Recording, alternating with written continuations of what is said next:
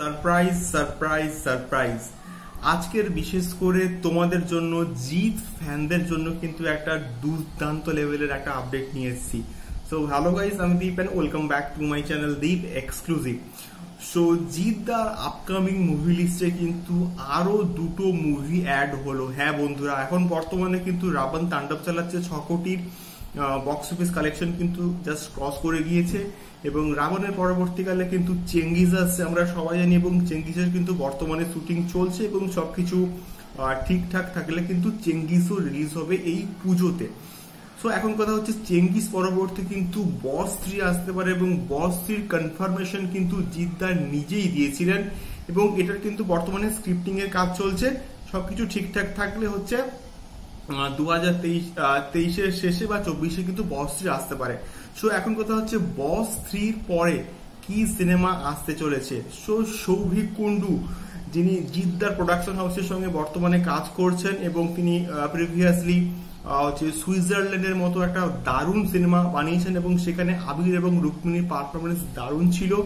এবং একটা দারুণ কিন্তু মেসেজও ছিল এবং তার পরবর্তীকালে এখন কিন্তু আই হুকুয়াই বানাচ্ছেন এবং সেখানে প্রসেনজিৎ এবং দিতিপ্রিয়াকে আমরা একসাথে দেখতে পাচ্ছি লিড রোলে এবং তারও কনসেপ্টটাও বেশ ভালো। সো সৌভিক কিন্তু বলতে গেলে একজন খুব ভালো পরিচালক বর্তমান সময় দাঁড়িয়ে। সো এই খবরটা কিন্তু আমরা পেয়েছি হচ্ছে আনন্দবাজার পত্রিকা থেকে এবং সেখান থেকে কিন্তু আমরা এই খবরটা পেয়েছি। সো সৌভিক কুন্ডু কিন্তু জিৎ দার সঙ্গে দুটো সিনেমা করতে চলেছেন। হ্যাঁ বন্ধুরা সৌভিক কুন্ডু জিদ্দার সঙ্গে দুটো বিষয় ধর্মী দুটো কন্টেন্ট ধর্মী কিন্তু সিনেমা করতে চলেছেন।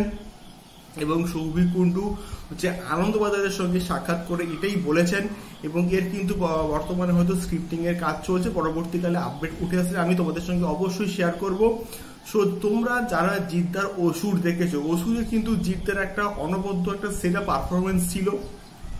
সেই ওষুধের মতনই হচ্ছে জিদ্দা এবার কিন্তু সম্পূর্ণভাবে কমার্শিয়াল জোন থেকে বেরিয়ে কন্টেন্ট ধর্মী কিন্তু সিনেমা করতে চলেছেন, একটা বিষয় ধর্মী কিন্তু কাজ করতে চলেছেন, এবার একটা নয়, দু দুটো কাজ কিন্তু আসতে চলেছে। এবারে জিদ্দা মানে সব দিক সব রকম মানে সব রকম মুভি কিন্তু করতে চলেছেন, যেমন একদিকে কমার্শিয়াল এবং একদিকে কন্টেন্ট ধর্মীয়।